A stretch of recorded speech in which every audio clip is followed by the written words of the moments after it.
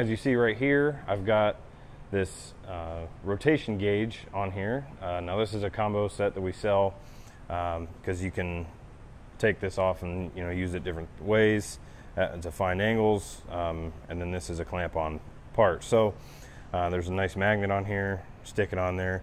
This is a really nice uh, kind of dial indicator here. Um, I already have it set uh, right at zero. So the reason I have this on here, obviously the tube is straight at the moment. So the reason I have this on here is so once I get through this first bend and it swings around, we're gonna flip the tube over uh, 180 degrees end to end and we're gonna bend the bend that's right here. So then we'll have basically, uh, we'll have a straight, a 90, a, a, short straight section here, and then another 90. So um, like I said, bend this one first, flip it over, and so we'll flip it over, make sure that this is back at zero.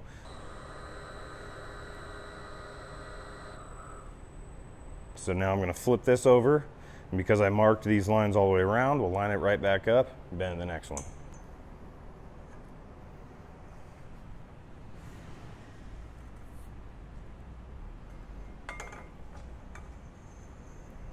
put a little more pressure on here, see where we're at on our dial, which we are about one degree. So I'll go ahead and give this a little pull down.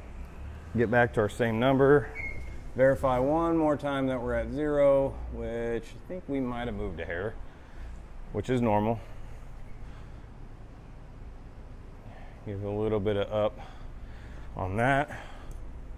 Check it again, and I say we're pretty good.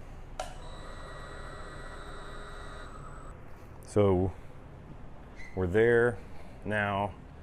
The tube dropped a little bit down when I did that, so I'm gonna give it a little bit of tweaking here just to make sure. And there we are at the 0.35 with it up this way. So this way we are completely level this way with the die this way. Now I can set my rotation gauge on here. So I'm to get this and I'm to explain what I'm to do here. I'm actually to put this on upside down and I'll explain why.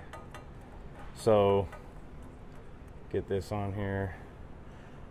Find that zero mark. Because we leveled the tube out, we can now find our zero, which is right there.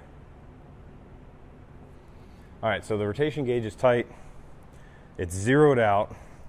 We need to rotate this tube in order to get the right bend. What I'm gonna do now that I zeroed this out, I had already clamped that to, to say that this was would be okay if I'm bending it. But before I bend that, I need to rotate this tube 221 degrees. So I'm gonna back this off and we're gonna go over.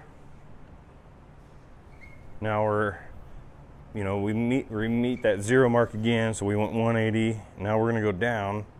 So we're gonna slide this down even further. All right, there's our nice 42 degree bend there. Now, this is what I was saying. See, you can see the profile. Now that bend is going out and down away from the center line of this, uh, what is going to be the center line of the frame. So, and now we are, let's see, 180, eh,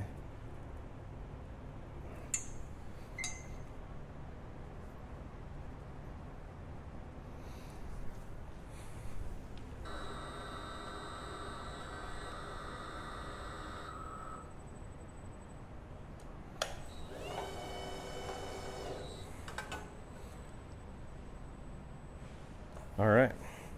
Now, you can see how that bottom bend has now kicked us back straight with this bend here. So we're here, down, and then kicking back straight. Now we're gonna do the same thing on the other side, and this will be the top tube to the frame of the rear of the car.